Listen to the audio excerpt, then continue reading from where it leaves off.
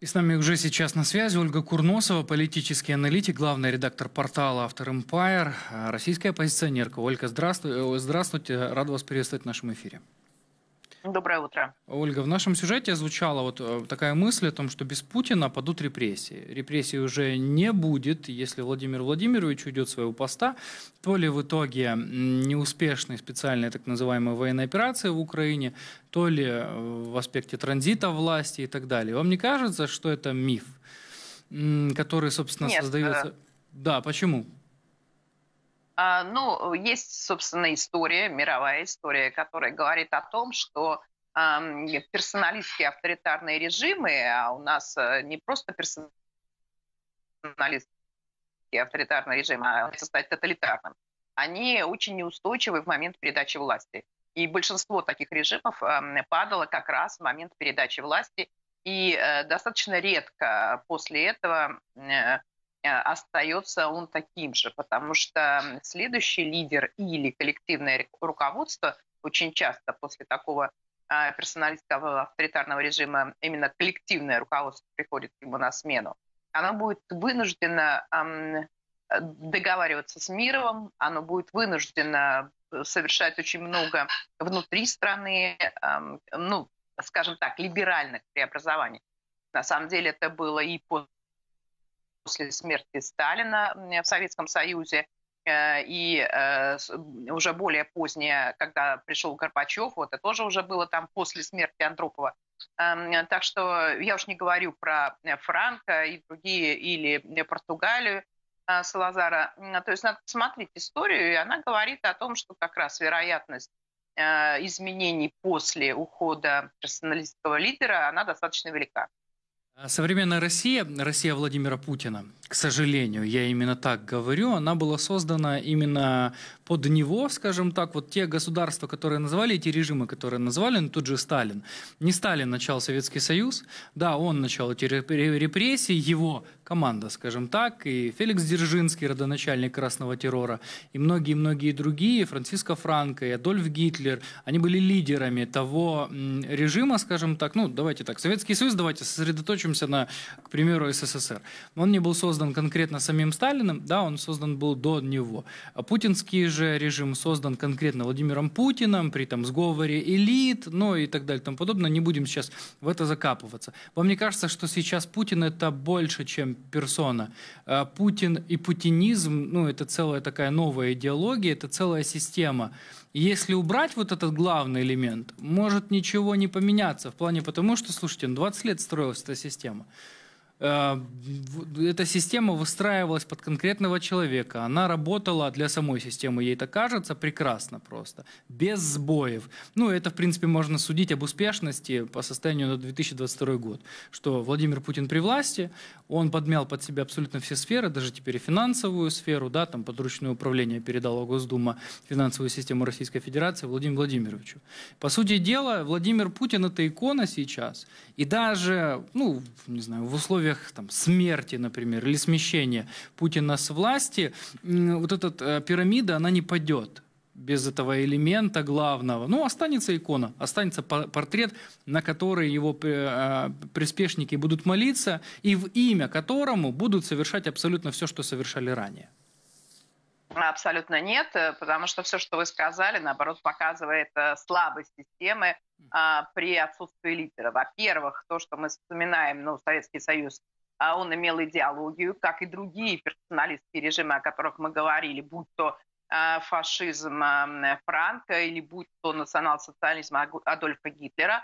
Да, конечно, это были персоналистские режимы, но они были идеологическими, в отличие от современного э, российского режима, который ни разу не идеологический, потому что Эм, э, воруй э, все, что можно, это нельзя назвать идеологией, хоть с какой стороны не посмотри. С другой стороны, надо понимать, что э, у власти находится целый ряд кланов, и то, что мы видим сегодня, а, я имею в виду в том числе и арест Владимира Мау, и бесконечные аресты более мелких людей, которые мы не замечаем, показывает, что война кланов идет постоянно ее сдерживает э, наличие во главе этой системы Владимира Путина.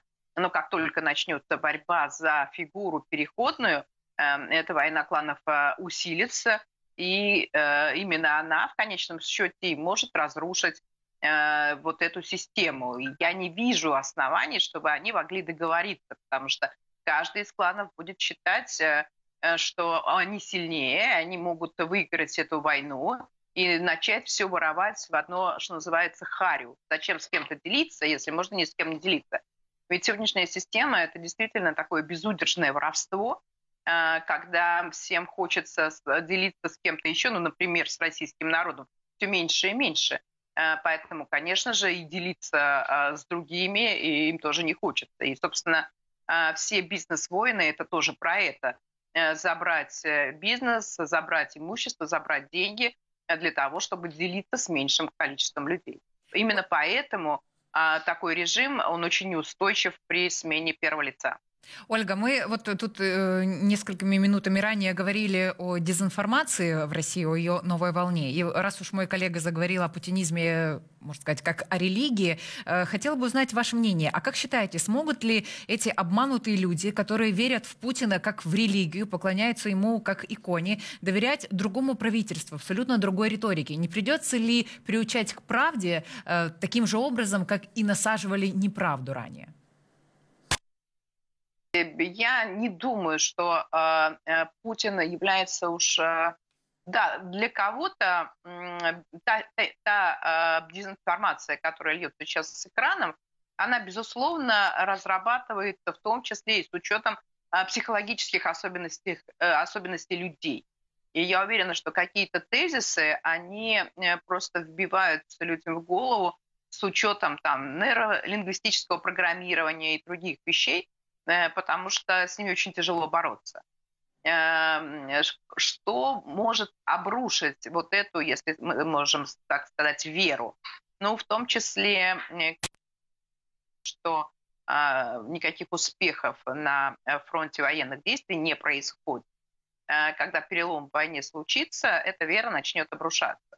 И в этом смысле, так как мы понимаем вот это, что называется, где находится Кощеева игла, как только до этой Кощеевой игры, иглы доберутся, вот вся, э, так сказать, вся эта пирамида э, разрушится. И, на мой взгляд, все-таки единственный способ борьбы с этим – это не выстраивать другую пропагандистскую машину, а все-таки говорить людям правду, потому что единственный способ – это говорить правду и э, просто открывать сознание для понимания реального состояния вещей, а не пытаться выстраивать другую систему обманов. Еще важно, готовы ли люди эту правду слушать и воспринимать. Вот как считаете, что большая беда для России сегодня? Это запрет на выражение своего мнения и своей реальной позиции, либо же практика доносов, которая, э, по некоторым данным, прогрессирует сейчас в России? Но это же связанные вещи, да, э, как бы доносы возможно именно потому, что нельзя высказывать свое мнение.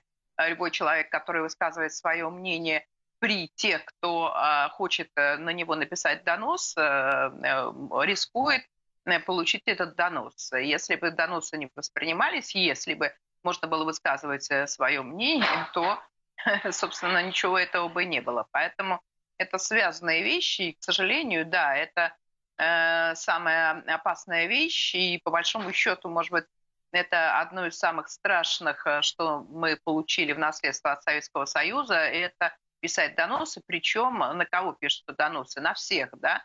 Э, на тех людей, кто, ну, я не знаю, там, эм, неплохо посмотрел на тебя, обошел тебя по службе, более талантлив, эм, не разделил твою влюбленность и так далее. То есть можно написать э, донос на любого человека, который тебе не нравится. Много было историй, когда э, жены, например, писали на мужей, с которыми поругались, что он собирается ехать воевать в украинскую армию, а потом приходили в себя и говорили, Оля, нет, нет, нет, это я просто со, зла, э, со злости. Ну, понимаете, дело в том, что за вот эту вот практику доносов э, держится как будто бы за какое-то вот последнее наследие, самое памятное наследие Советского Союза. И вот э, почему вы считаете, что э, после Путина, собственно, от этой практики откажутся? Ведь это уже ну, некая привычка, некий обычай, особенность, возможно по большому счету то, что сегодня в России невозможно высказывать собственное мнение, это прямое противоречие российской же конституции. в которой описаны политические права и свободы, в том числе свободу выражения собственного мнения. Поэтому все те законы, которые сейчас приняли, это, собственно, законы антиконституционные. Я надеюсь, что все-таки настанет время, оно не слишком далеко, когда эти законы будут признаны антиконституционными и отменены. А, соответственно, э, во всех остальных случаях, вот если мы убираем сегодняшнюю ситуацию политических доносов, да, любой донос, а, он может быть опасен, потому что если это лжесвидетельство, то это уголовная статья, и, собственно, любой лжесвидетель может сам сесть на скамью подсудимых, если будет доказано, что он говорит неправду. Поэтому в обычной ситуации, когда политические доносы уйдут, э, ситуация очень быстро стабилизируется. А если говорить, э, э, если говорить о все-таки практике, о, о нарастании антивоенной волны в России, есть ли какой-то пик роста этой антивоенной волны, э, который сможет победить полицейское государство. То есть это все крупные города должны восстать. Или что должно произойти, чтобы э, люди... Э, чтобы невозможно было эту волну остановить? И вообще, возможно ли такое? Если объявить всеобщую мобилизацию, я думаю, что такая волна будет. В противном случае я не думаю, что она, она может... Тут будет более сложная история, а, мне кажется, что общественные протесты довольно значительные могут быть после 11 сентября, потому что 11 сентября в России выборы во многих регионах. Например, в Москве выбирают муниципальных депутатов, во многих регионах выбирают губернаторов, законодательные собрания. И мы прекрасно понимаем, а, каков механизм подтасовки результатов. Это электронное голосование – и когда люди увидят масштаб фальсификации, там может быть действительно следующая протестная волна, примерно такая же, которая была в декабре 2011 года. Поэтому посмотрим. Все-таки ситуация, экономическая ситуация в России ухудшается.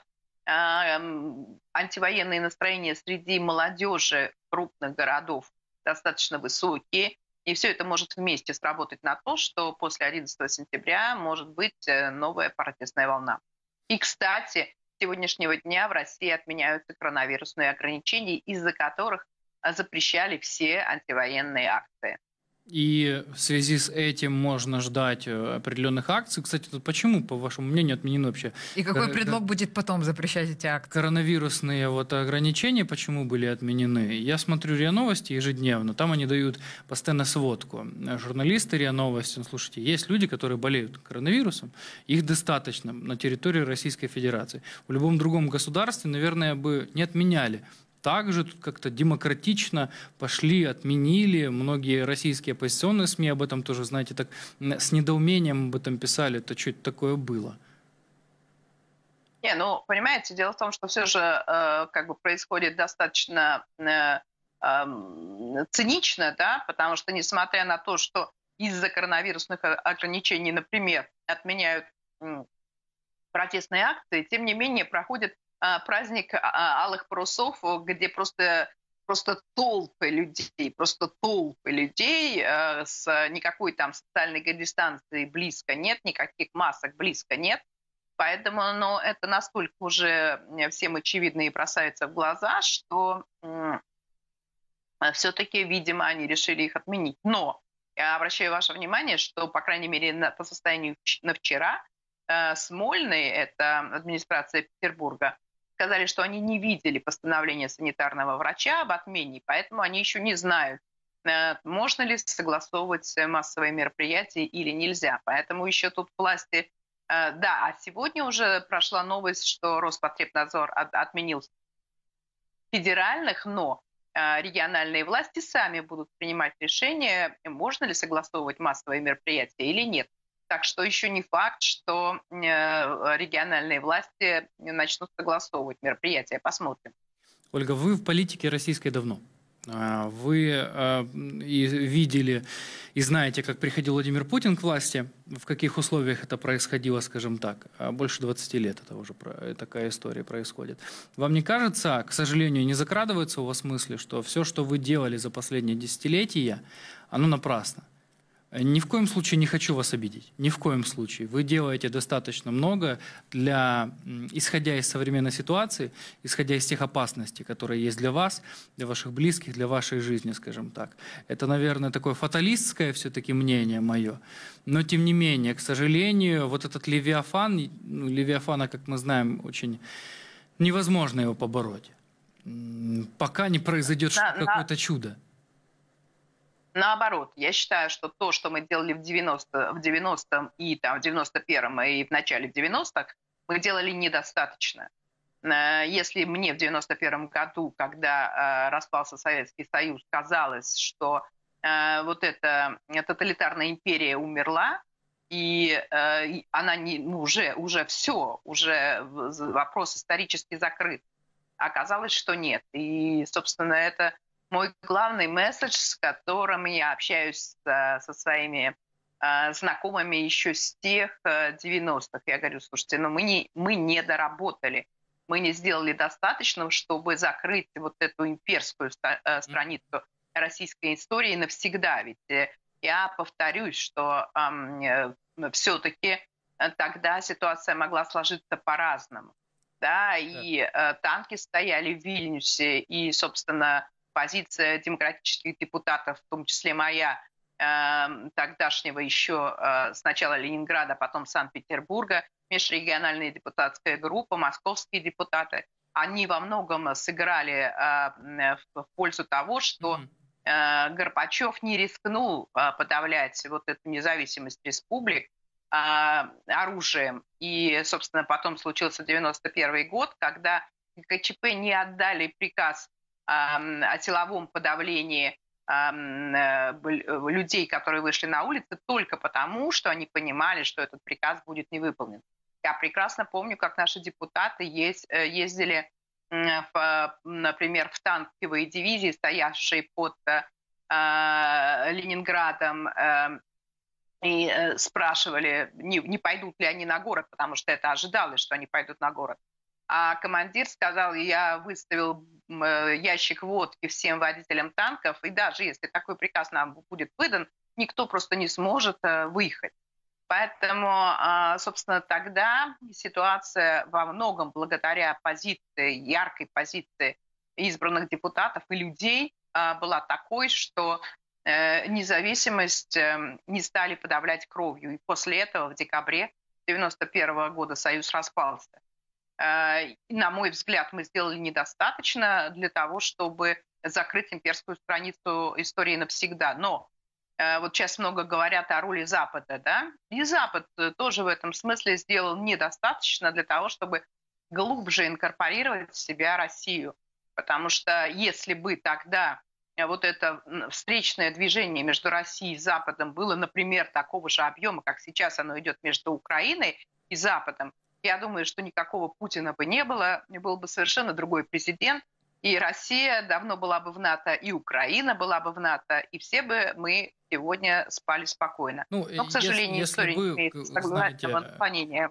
Э, если да. БДКБ, это понятное дело. А последний да, вопрос. Да. У нас буквально там меньше минуты сейчас. Э, среди новых политиков, политических лиц, таких как Дмитрий Гудков, э, сын Геннадия Владимировича Гудкова, тоже вот бывший депутат, да, Максим Кац, тоже известный человек в блогосфере, бывший эм, соратник Алексея Навального, если так можно сказать, бывший представитель Яблока. Многие другие. Вы видите среди них вот того единого лидера, под которым можно объединиться? Если не Навальный, Навальный, который, к сожалению, сейчас не может да, выйти на улицы, призвать всех и многое-многое другое, просто потому что человека посадили просто так, скажем так. А за кем сейчас будет стоять протестное движение? Минута у нас. Э, вы знаете, вообще не нужно искать одного лидера. А, это должна быть идея. И идея, самое главное, это я уже сказала, что имперскую страницу российской истории нужно закрыть навсегда. В России должно быть демократическое правовое государство выстроено. И под эту идею нужно действительно сплачивать людей. А, когда изменится ситуация, она точно изменится. Появятся не только те, кого вы перечислили, а те люди, которых мы сегодня не знаем. И э, вот это широкое общественное движение, оно и изменит э, страну. И, наконец, э, я надеюсь, что все-таки Россия станет той страной, которую, в которой хочется жить и мне самой, и моим детям, и моим внукам. И я верю, что это обязательно произойдет. И страной, которая дает спокойно спать своим соседям. Ольга, мы благодарим вас безусловно, за то, что вы присоединились. Безусловно. Э, благодарим вас за то, что вы присоединились к нашему эфиру. Э, Ольга Курносова, политический аналитик, главный редактор портала After Empire, была с нами на прямой связи.